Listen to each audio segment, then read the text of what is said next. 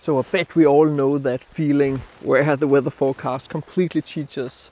Like it did foresee a little bit of fog, maybe some hoarfrost or something like that, but really nothing that was worth getting out of bed for.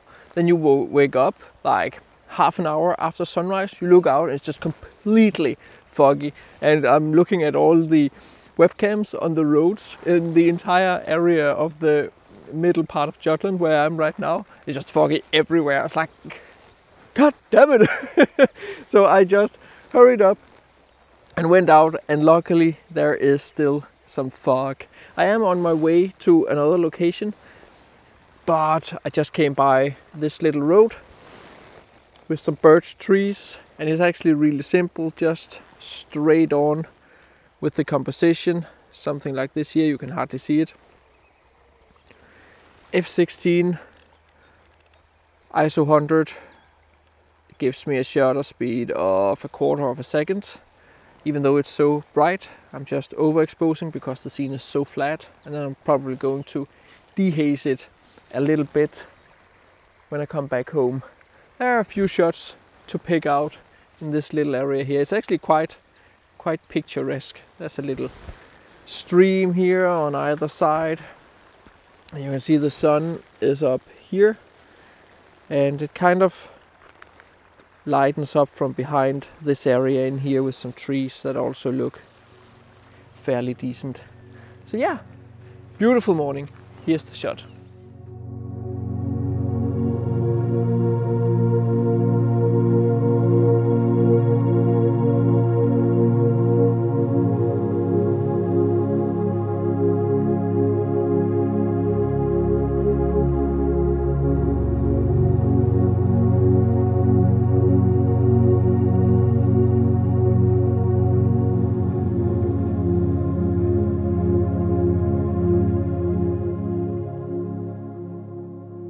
The things I so enjoy about such a spontaneous morning like this is that obviously I kind of know uh, my local setting, so I know where I can go and I know where there's some potential for some photographs. But it's also so intuitive what you do. You just walk around, you see something, you shoot it, frame it up, more or less use your compositional tools to your benefit.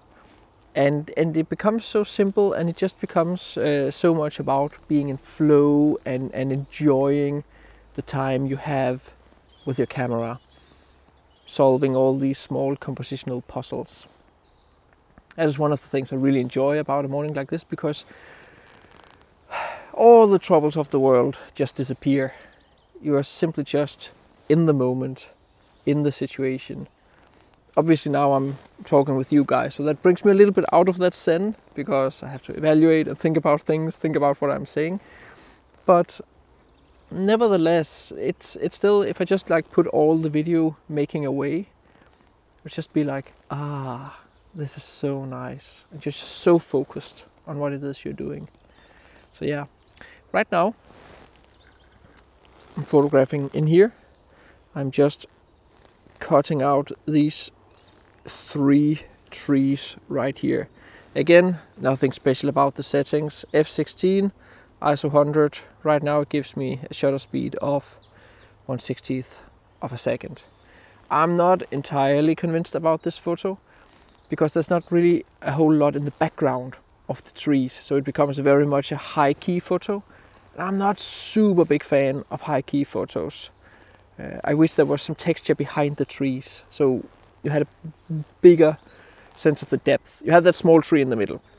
It helps out a little bit, but uh, yeah. Here is the photo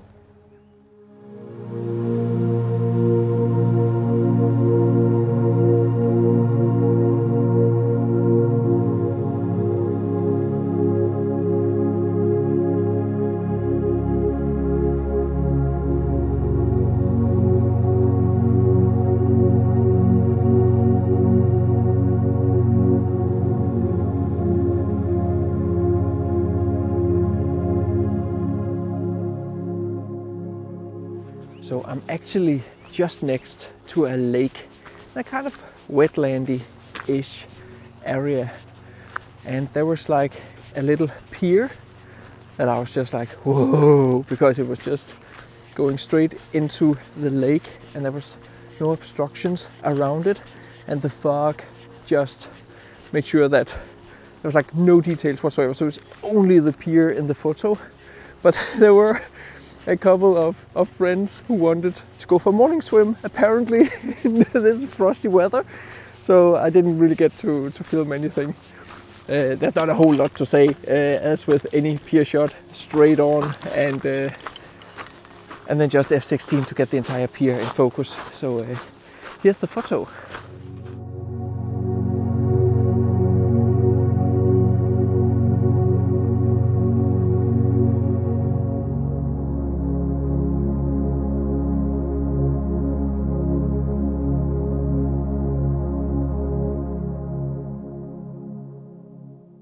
So the sun is breaking through really, really fast. That's not necessarily bad as long as I have a little bit of fog, because as long as I'm shooting towards the sun, then I should have the fog effect.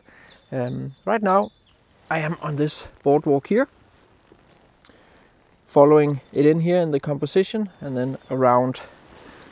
I have played around with a few different compositions. This one here is one of them, and then I've tried a couple of others, but I think I prefer this one. It has a pretty decent balance where you follow the boardwalk and then at the same time follow this stream into the background over here.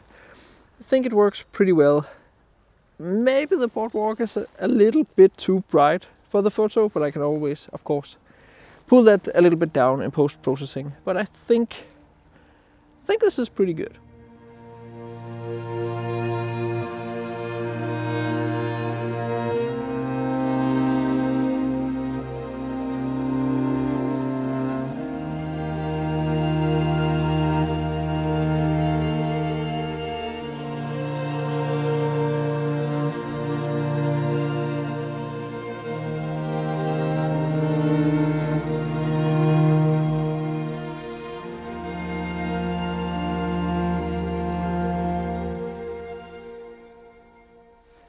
It is one of those mornings where there's just like compositions popping everywhere.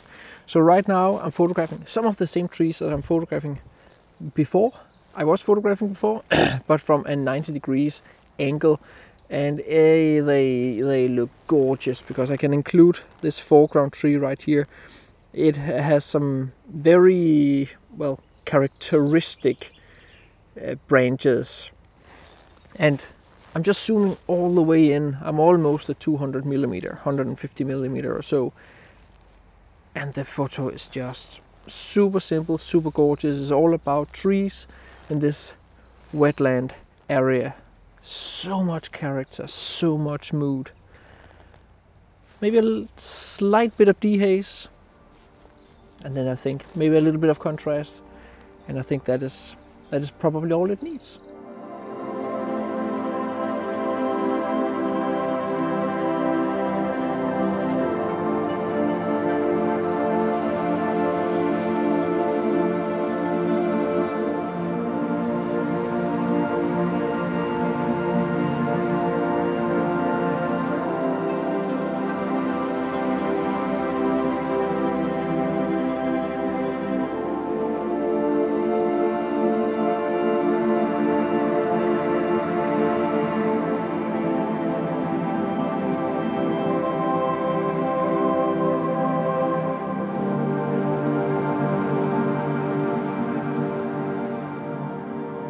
Morning like this proves how important it is to have an intuitive feeling with composition. You have to hurry a little to get the photos before the fog lifts, yet you don't want composing the photos to stress you out. If you want to learn about composition and have a fast and simple entrance to understanding how I approach composition in the field, be sure to get my ebook on exactly that composition in landscape photography. It has minimal text and loads of photos as examples to get to the point fast. If the first ebook isn't enough, be sure to get the follow up where I share even more compositional tools. Both ebooks have loads of 5 star reviews, and if you are still in doubt, you can check out the two free light versions first. There are links for everything in the description of the video.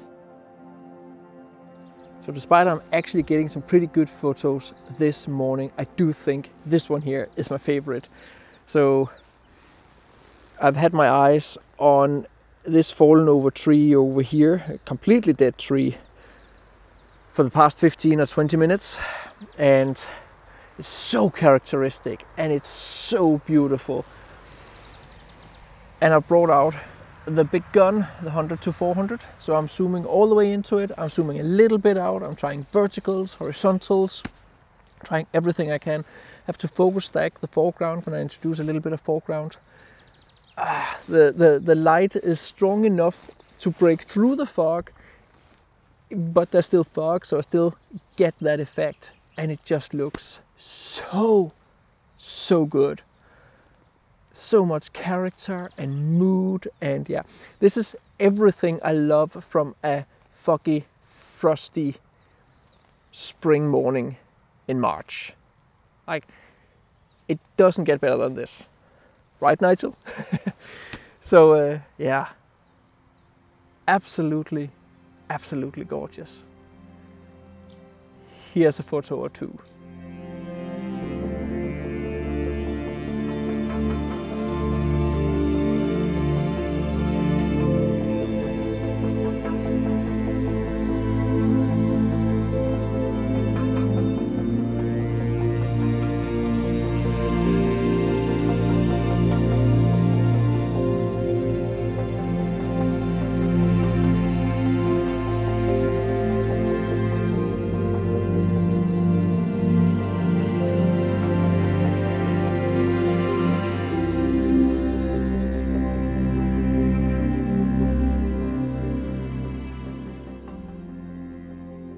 So I've come back down to the pier just to try to reshoot it, but I'm not sure the second shot here is better. I have also focused a little bit on photographing some of the reeds right here. You can see the fog is lifting and the trees are coming out. I actually ought to shoot them now. Um, I have a little bit more texture going on. And there were some birds as far as I can see on, on the Danish English word book, they are called grebe. So maybe horned grebe and they looked beautiful in the glimmering water. Super simple, super minimalist photo uh, with either one or, or two of them out over the lake. Absolutely gorgeous. I'm getting completely blinded here. Uh, my settings uh, show the ISO 100 f16 and I still have like one five hundredth of a second. So yeah, uh, you understand how blinded I'm getting right now, uh, standing on a lake looking out over it, just getting like double sun in my face. But yeah, I will stand here and photograph a little bit more. And uh, here are the final photos, I think. I think.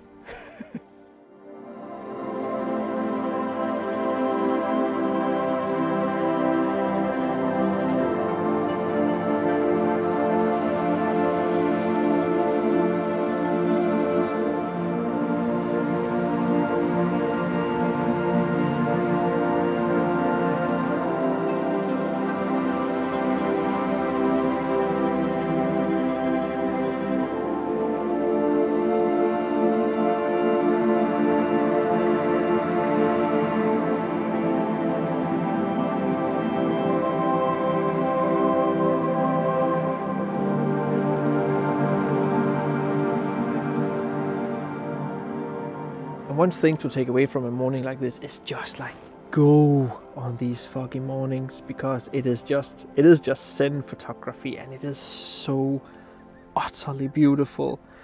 In regard to gear just bring everything because you honestly do not know what you need. I've been shooting with my wide angle today my standard zoom super zoom and even my 100 to 400 telephoto. So oh, oh right now. Oh, it looks so beautiful out over the lake. I wish I had some birds in there. Yeah, as you can see, the fog is just like coming up, and the silhouettes of the background trees are coming out. It looks so, so beautiful. Totally happiness and Zen photography right here. right now.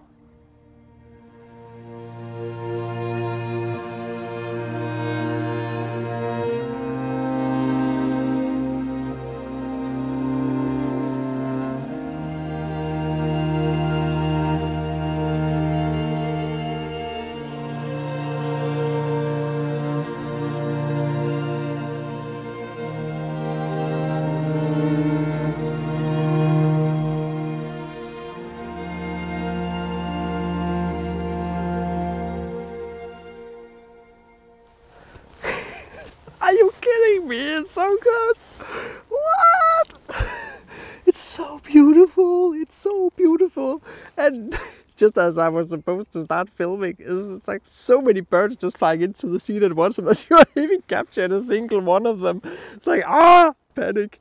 Wow. So what's happening right now is that the sun is throwing its beams down through the fog, down through the forest. Oh, it's so good. It's so good. I'm talking way too much to you guys. I'm just focusing on photographing right now. Waiting for some birds to come into the scene. Uh, they make for great anchor points, and then I'm incorporating the rest of the lake and the sun and the atmosphere and the trees and the beams and yes. getting something original this morning. I I dared not hope for it. But is so so good.